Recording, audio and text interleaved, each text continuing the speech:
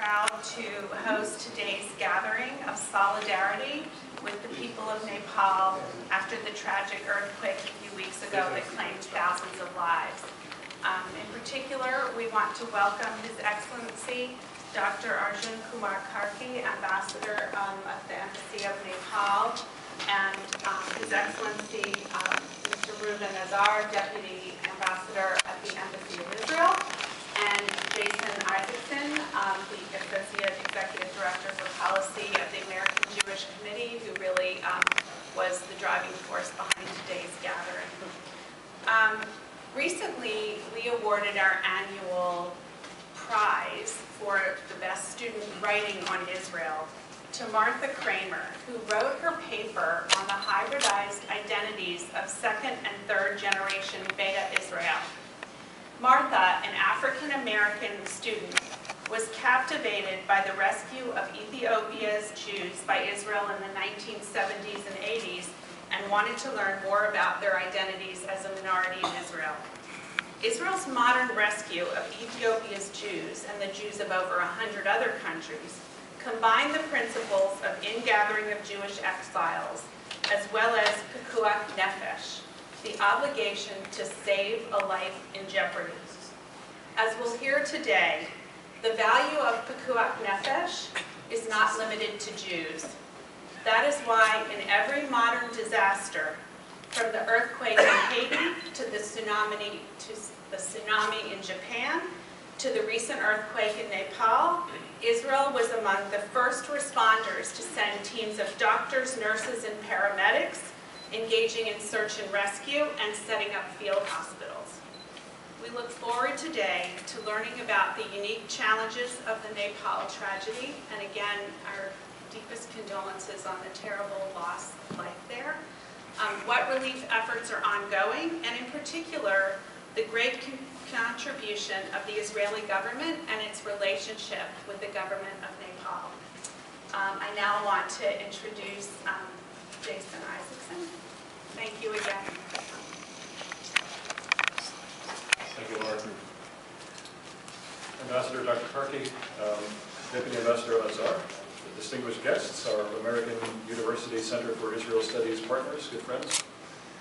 Um, It is an honor for me, as well as a source of profound sadness, to stand here with my AJC colleagues in the company of our counterparts and friends in the Nepalese American community and the American Jewish community, and pay solemn tribute to the memories of those Nepalese and citizens of other lands who lost their lives in the catastrophic earthquake of April 25 and the second deadly earthquake of just eight days ago.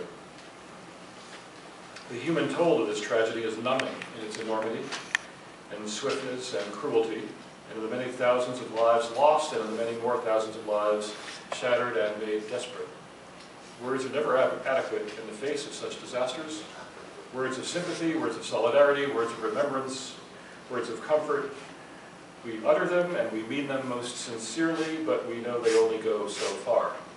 What is left for us to do, as men and women of conscience, as compassionate advocates for engagement across national, ethnic, and religious lines, and as friends of Nepal, is not only to mourn and not only to pay tribute, but to assist in very practical ways in the vast and essential process of recovery and rebuilding.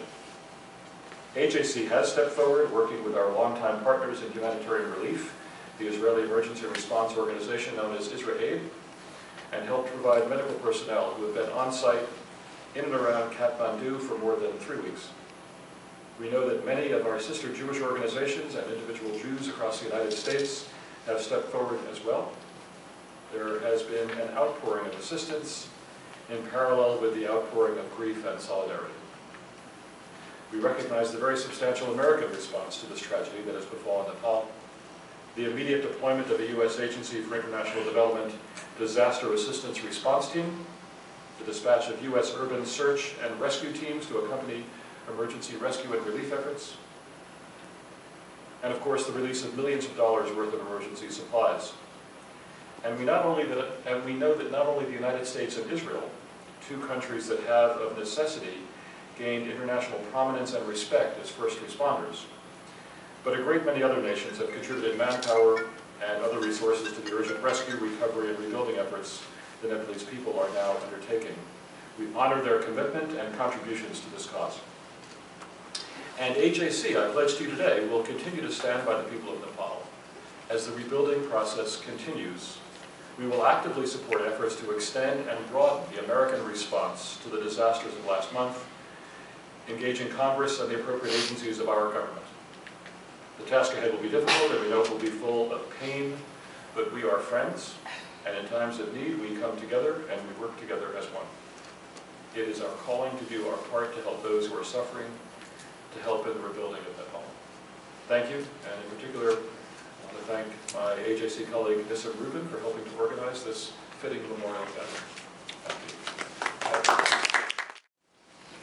Or, or Laura. I'll No, let no, you- no, I'm going to try to adjust the microphone. Okay. Ambassador, please.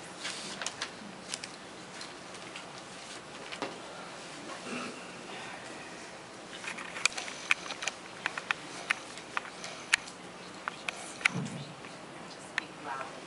Okay. I thank you for organizing the- this event and inviting me. I'm really honored and pleased to be with you this afternoon, evening. Uh, And I, I just arrived here. I'm 10 days old here. But I am also one of the earthquake survivors. Uh, I was in Kathmandu and I'm really uh, appreciating United States support. I had an opportunity to attend a U.S. Marine briefing program before I left Kathmandu. I had also opportunity to go around with U.S. Marine uh, so, soldier, their helicopter to all this devastated area. So uh, I, I have appreciated the level of support that was provided to us and so promptly and again, right after the earthquake. In fact, the U.S. the government mobilized the marine from uh, Pacific uh, Area, Okinawa and Philippines.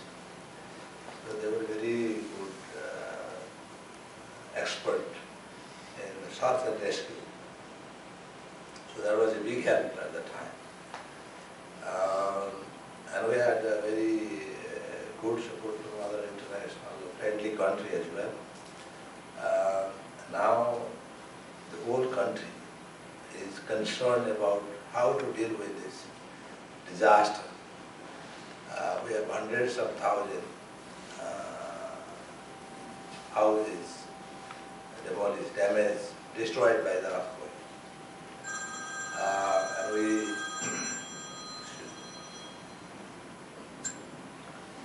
uh,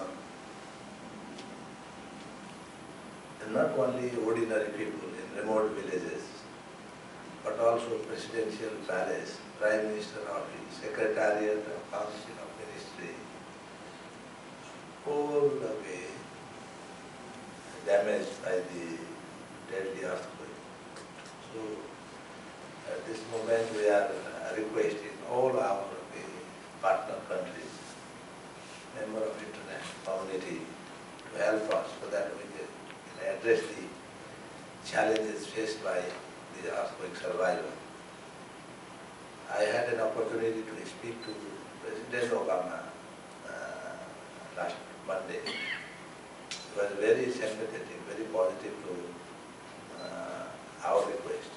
In fact, there was a follow-up immediately, right after I had meeting with him.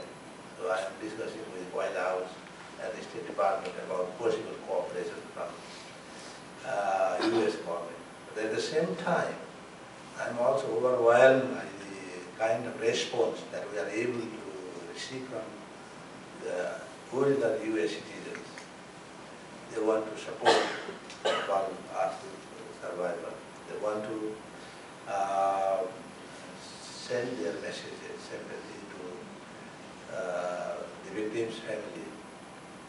I'm also invited by Nepali diaspora and also South Asian community uh, in various states.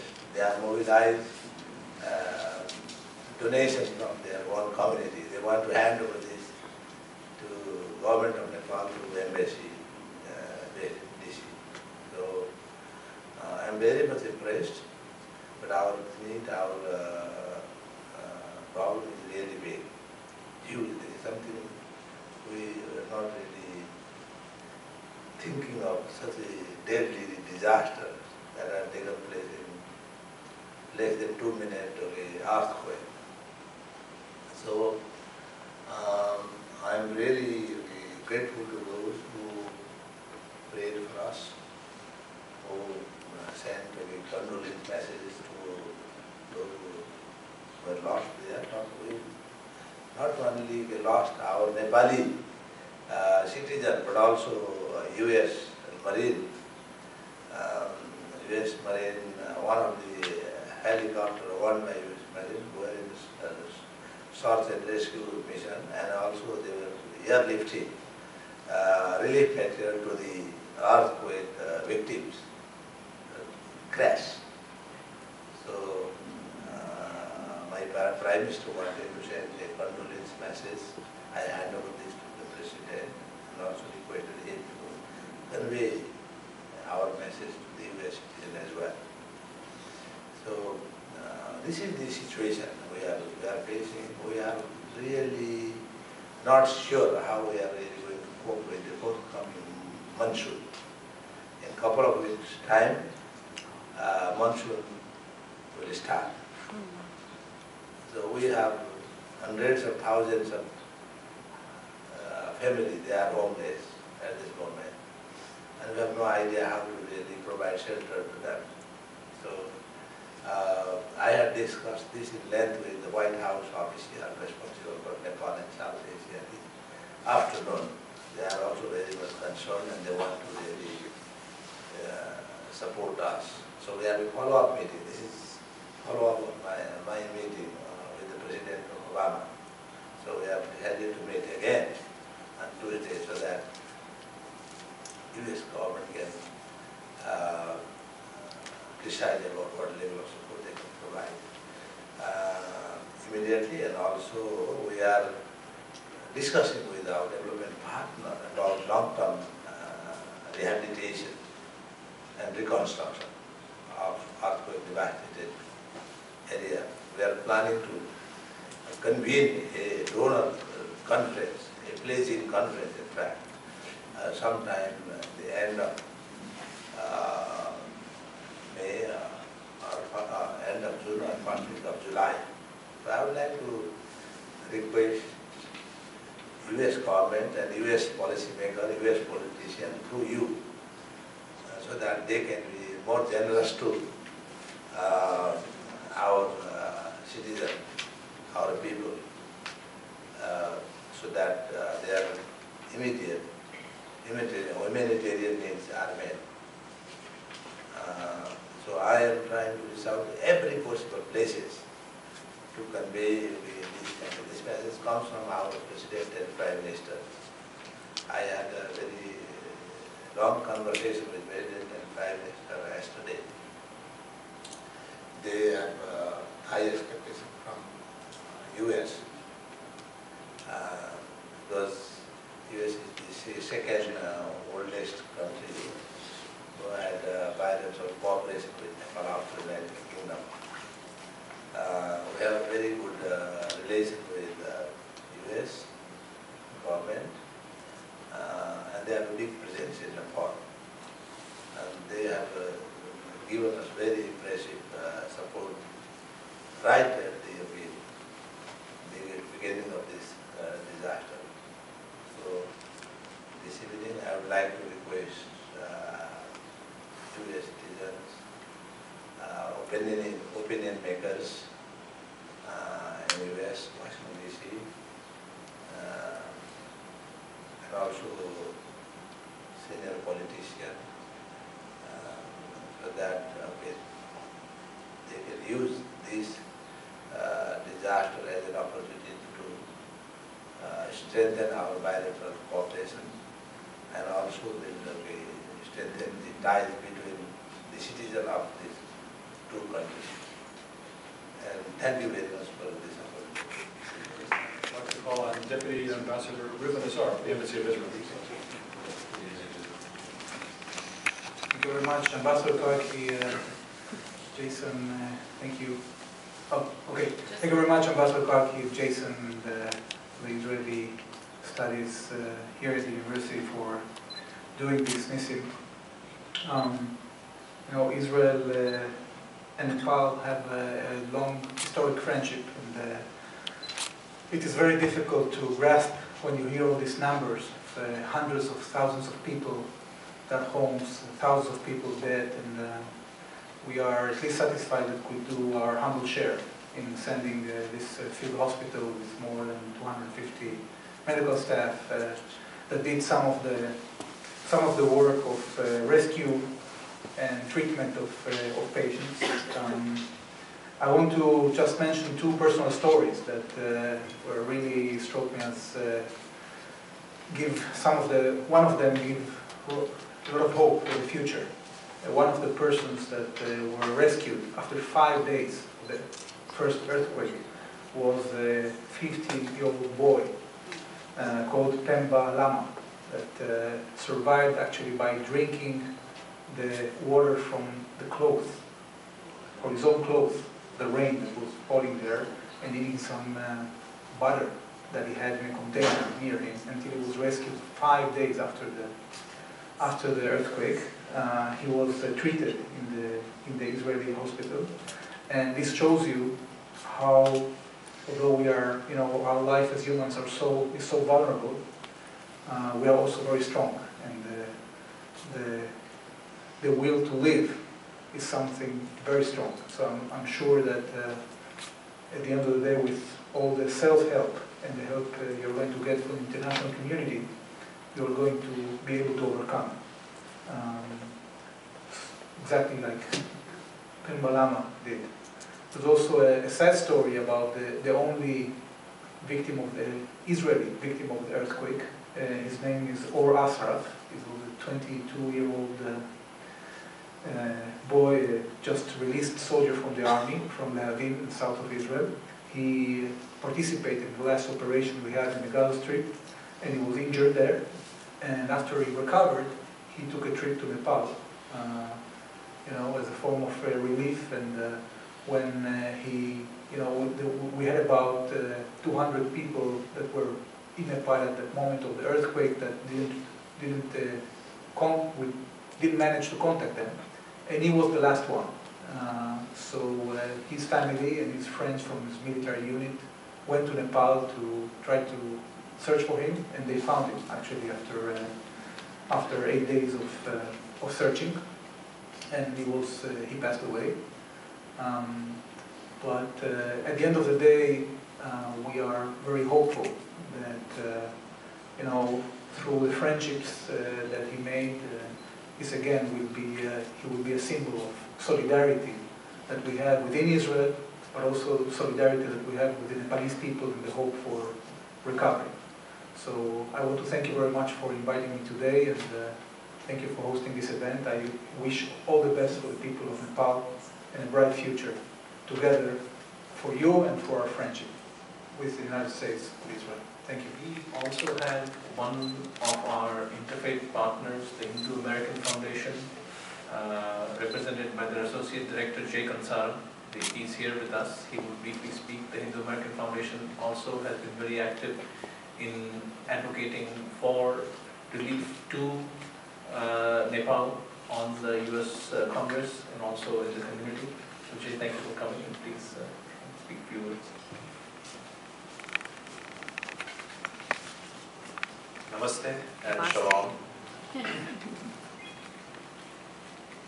The, I think this is a fitting uh, forum for such a discussion, and it, it comes as no surprise that the Jewish American community put forth such an effort to bring, uh, to bring our communities together.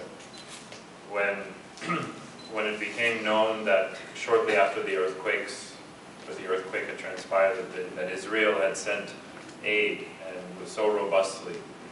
It was of no surprise that, and that this was from the Jewish people, from the Jewish state.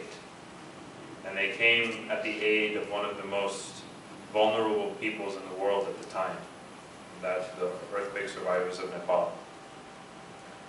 The Hindu American Foundation has, since then, we have encouraged our membership throughout the United States to donate freely and donate generously to causes and to organizations that ensure uh, aid is given to the people of Nepal.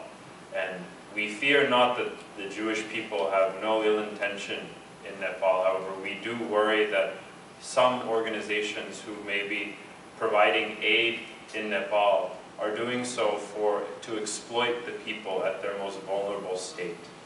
And we encourage the Jewish community to stand with the people of Nepal, who are a majority Hindu and Buddhist, to ensure that their cultural heritage is a part of the healing process that will take place in Nepal from now and for years to come. And so I want to thank the Jewish American community for fostering that process. And uh, to the people of Nepal, the Hindu American Foundation represents your diaspora here in America. And we will work with you also hand in hand. Namaste. ambassadors um, or the interfaith. Um, Do you guys want to sit up here maybe so people can hear your responses? Yeah, Um, um, Your Excellencies, if you could come up here, that would be good. Out loudly like this. Outside Okay. Oh, I'll call on people, that's fine. Okay. Um, My name is Kay. I'm very pleased that this um, you mind calling? small but port- important event, um, there are times when I bug Israel, and um, in terms of um, Israeli-Palestinian peace issues, and when Israel is involved in something like this, I'm very, very proud. So this is another dimension of a Jewish person's relationship with Israel. I have a very crazy suggestion that I have never heard of in an earthquake, earthquake and in disasters, and it's very cheap. I don't know the temperature in Nepal right now, roughly. Uh, Roughly how warm or how cold is it? It's very difficult to tell you that. This is the most difficult question that you have. Really? Nepal is a small country within 200 kilometers. Uh-huh. Have around the year snow Y- Yeah. you and also Okay. very hard place within, within 200 kilometers. Well, I have a tiny So it on which part of country you are talking about. I have a tiny suggestion that I have never seen in disaster relief. And um, I didn't even need mine uh, that I brought to the first Obama inauguration because I had seven layers of clothing on and I didn't need it. But those silver blankets that sell for three or four dollars after a, a marathon, um, that are in hardware stores. I keep one in the car in case of emergency. I had one at the inauguration, and after the wind was blowing, you were there.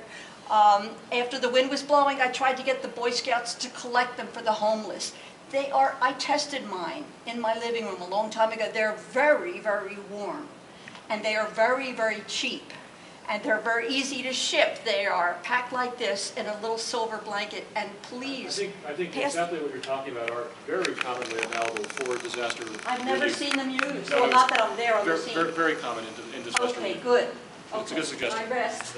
Um, You know, could you please explain as to how the Israeli, uh, the IsraAID, how exactly its institutional involvement throughout the years, um, how, you know, a fixed uh, a feature has it been part of the Israeli government? Um, Could you possibly trace the evolution of that particular arm of Israeli government and where you all are today? IsraAID actually is not uh, an official part of the I'm Israeli talking government. to the. Yeah, sorry.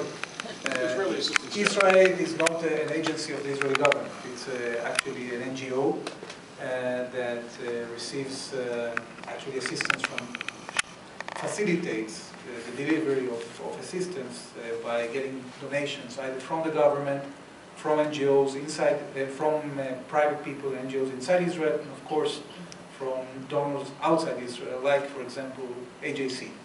The, the first effort, the, the, the- the most robust effort of Israel uh, to Nepal was done by, by the Israel Defense Forces, by the planes that they, they sent and the hospital they, they did, they, they put there. And IsraAID usually uh, manages to be a, a pretty swift responder uh, because it has the experience of getting to places all over the world. Uh, it has been very active, for example, on Ebola. Um, Ebola was actually in Western Africa was a very difficult challenge because people were afraid of going there, and actually they had the right people to, to go and they worked with the government of Sierra Leone and other places. So there, there are sometimes places in which it's easier for an organization like IsraAID to get there uh, even before the government uh, gets there. It, it, it wasn't here the case in Nepal right now because the IDF came first, but uh, I'm sure that also IsraAID is going to stay there for longer and continue supplying, supplying relief uh, to the extent that it can. So, with in 2001, there was a similar massive earthquake in my home state of Gujarat in India.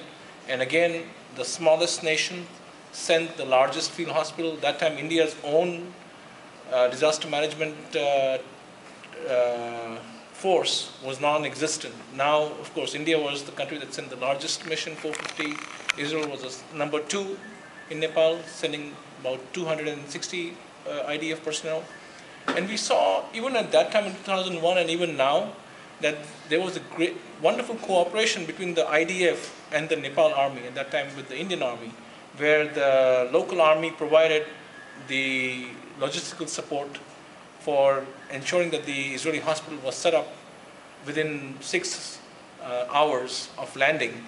And uh, so, I, and an AJC where I work, our Project Interchange Institute, takes missions to Israel of experts. And one recommendation that I'm going to make to my seniors and also to the Jewish community is to ensure that more experts from Nepal are brought to Israel from the government and from civil society uh, to train them in disaster, to give them disaster mitigation and preparedness training. I think there's no country in the world that has the experience and the expertise that Israel does. This is an appeal that, as an Asian Jew, I will make to my American Jewish brothers and sisters, is to ensure that more experts are able to come from Nepal, in, uh, so that the country is better prepared for any future natural calamity. Obviously, the first priority is to ensure that those who have been affected, homeless, or are injured or sick are taken care of. But can you elaborate on some of the damage done to the hundreds or thousands of years old of history and culture in Nepal, like the temples and the uh, archaeological sites that have been damaged, and what it will take for the, and what does Nepal require from the international community to preserve those and to restore them to some to some uh, level of suitability. So this, this cultural heritage, archaeological sites are not often considered as emergency or priority issues. We are dealing with human casualty and humanitarian issue at this moment. But it is really very important for us to think about those historical monuments. Uh, in fact, uh, we have lost so many, in fact, almost uh, all oldest uh, structures of archaeological, uh, archaeological importance monuments, uh, including the historical palace, uh, which we call Singha Darbar, where uh, Council of Ministry says at this moment. It is also damaged. It is not okay. Our Prime Minister office is in a tent now. Okay. They are not able to work from there. President is working from a tent. So presidential balance is also gone. Um, it's not really going to be uh, a state of uh, operation in near future. So it cost billions of dollars in fact. You really count that. We, to be very frank and honest with you, I have no idea. No one has time to really think about this because of the subsequent tremor after the big earthquake. So people, whole nation is really terrorized, terrified.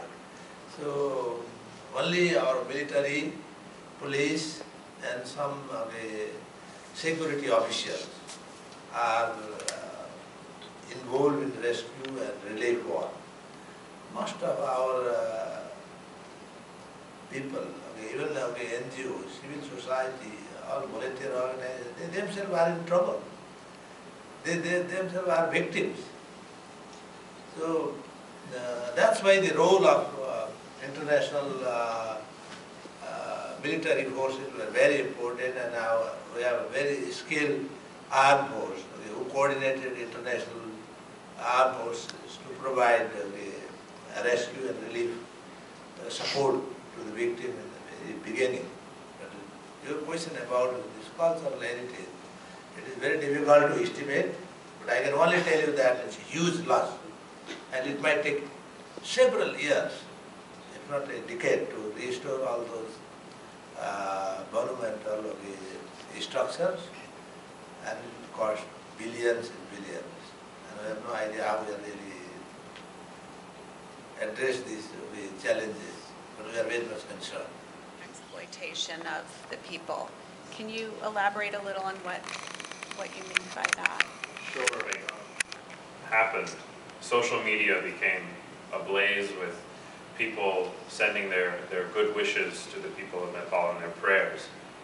But with that also came very, um, if I may just speak frankly, almost condescending and very uh, condescending remarks from people on social media, particularly of one faith community, who said that uh, the, the downtrodden heathens of Nepal should arise with the, with the spirit of Christ now. And the uh, evangelical organizations, um, some of whom are USAID part implementing partners, uh, were, were named as some of the organizations who would deliver the, the word of Christ to the people of Nepal in their time of need. Now, there are many Christian organizations, I will say, that do excellent work and deliver aid and aid only when needed. And that is why the Hindu people have, Hindu people have absolutely no um, concern that the, the Jewish people have uh, nothing but good intentions the for the people of Nepal because the Jewish faith is not a proselytizing faith, just like Hinduism is not a proselytizing faith. And this is something that we've noted in the tsunami of 2004 and in a number of different uh, relief efforts in Asia and Africa and, and Latin America. So we hope that the U.S. government, number one, any organizations that are USAID implementing partners are scrutinized to ensure that they are not using this as an opportunity to evangelize in Nepal. And also we, we are hoping that the Hindu community and the international community will come to Nepal's aid to ensure that its thousands of years old of cultural heritage of Hindu, of a Hindu kingdom and Hindu and Buddhist kingdom will be part of the healing process. And that, that, that culture and that heritage can rise again as something that the world celebrates. In fact, the, um, if I may speak frankly, the Israeli armed forces, after uh, what I've been told is that after their two years of service, they oftentimes go to India and to Nepal uh, to seek solace and to, to rejuvenate their spiritual being. And, and so we hope that the world will, will, be, will be able to take, uh, will be able to partake in those same, uh, in those same spiritual experiences. Um, I know that uh, it will take time, as, as I'm sure the tourism industry in Nepal is completely shut down and will be for, for several months, if not a year at least. But um, it's important that that be celebrated again and that the international community, because that is one of Nepal's number one economic um, economic drivers, and number two, it is such an integral part to the to the, to the soul of Nepal. So important that we have a professor who actually wrote a book on the Indian Israeli community, and she's considering now something about the Israeli community in India because there's there's such a strong presence. So to be with us here today, and especially Mr. Ambassador, I'm sorry for your loss and what is happening in your country now. Thank you for taking the time to share to share the situation with us. I'd be interested to hear about any sort of special considerations that are being given during this difficult time to more vulnerable groups. For example, women, children, elderly. Um, see if there's any special considerations or anything that's happening in this uh, process of relief? A vulnerable uh, group of people are the, in a very serious need of support. They are the, among the victims, they are the worst affected, hardest, hardest hit uh, group of people. So from our government uh, side, we have a, we have set up a Prime Minister Relief Fund. So they have given top priority. First priority of uh, is to really reach out to this most vulnerable group of people. So we have not only women, children, but also disabled um, people, elderly community, okay, people, pregnant women. Uh, they are the most uh, considered most vulnerable. So we have uh, given special attention to them. Uh, but our problem is uh, it's not only houses, but also most of the public infrastructures are also damaged. Our rural hospitals are not in a state of operation at this moment. So I spoke to White House official this morning, they wanted to know what I want from them. So I was, one of the things I was asking them is to support for uh, rebuilding, reconstruction of uh, rural hospitals. So they can provide better service to not only women, children, but also elderly people and disabled. They are right there in their village.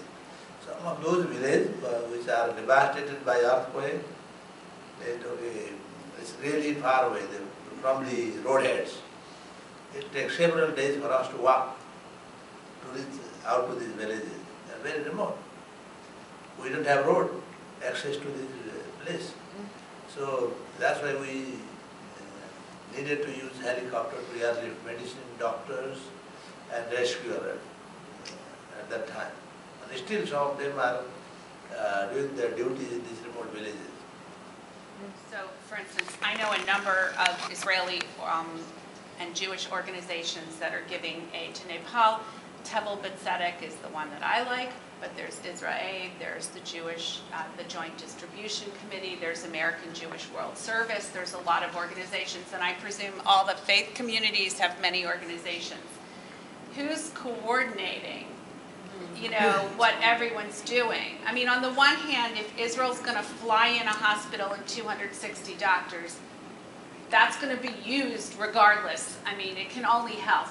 But to her point, what if everybody's bringing blankets and no one's bringing food?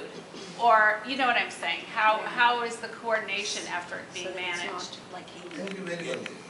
When aid started okay, pouring in, so we had this, our immediate concern was this.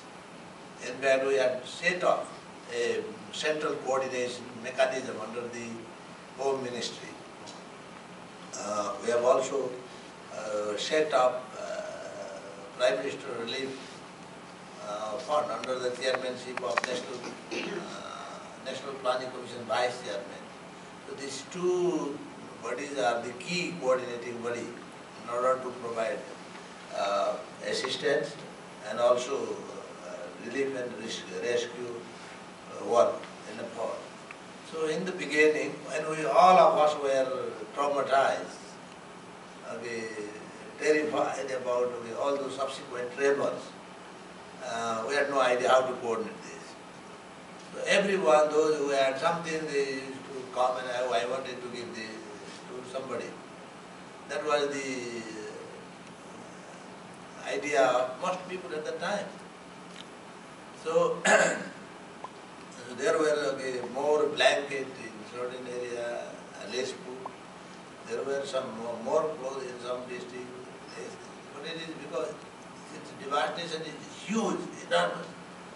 So none of those okay, initiative were able to provide enough basic okay, supply at that time. So there was security risk as well. Everybody wanted to get it. That's why coordination was something that government wanted to do, steer from the center. Because the hardest hit uh, earthquake was also the Kathmandu Valley, the capital of Nepal. So uh, we wanted to do that, but it was not really possible at that time, because uh, people were concerned, oh, we have right to reach out, we have, we have right to provide something. But when um, couple of days passed, then people have realized that it's impossible to reach out. We need somebody to coordinate. So they themselves started to con, uh, contact our home ministry. So we have um, supported them, uh, coordinated, and uh, advised them where to bring what. So home ministry is the central coordinating authority at this moment. Um, But we are, we are also concerned about, okay, not only in, in Nepal, but also in, okay, I have received uh, more than 20 emails this afternoon expressing concern from various US citizens about fundraising initiative taking place here. So more than 5,000 uh, organizations and group are collecting donation in the name of Nepali earthquake victims. They have, it seems to me that they have raised millions and millions. So there are concern from some concerned citizens that we, whether these uh, resources are going to reach to the earthquake victim or not. That's why a large number of uh, group who started to collect this fund decided to uh, hand over the, to embassy here so that we can uh, we, we can send this to Crimes Relief Fund. So uh, there are concern from within the USA as well, many, millions. Uh, we, it seems to me that okay, millions of US dollars are collected, but we don't know where they are going. There should be some kind of coordinating mechanism within the United States as well. So there are some uh, concerned citizens, they want to track down, okay, how much was raised and how much was, is reaching to uh, earthquake survivor. Uh, They are expressing their concern, they are asking embassy's involvement in tracking down all those work. Uh, But we have limited capacity, we cannot really monitor all these things. But you see, I, I'm really pleased to let you know that uh, when I had uh, discussion with the president uh, Monday, I, I have requested is it five five zero one C three status. Nonprofit, Huh? nonprofit organization status. Non-profit. It is not really, okay, the White House official told me that it's not really, the- you don't have a law in this country for non-profit making organization. You only get the tax-free code. Right. That's what I was told Yes, by right, exactly. the White House official this morning. So they are thinking of providing us the tax-free code. Uh, So that uh, all those interested, US citizen and Nepali diaspora, South Asian community can also donate directly to uh, Prime Minister Relief Fund through embassy account here in Washington DC. Uh, This is what we are uh, initiating, and because we need to, and we have a very transparent website, and also uh, we have, the government of Nepal decided not to use any donation money on overhead expenditures. So we are not going to pay salary, allowances, or use uh, donation money for transportation, and also we won't use that money for renting helicopters and others. So every dollar people donate through this account, reach out to uh, earthquake victims directly.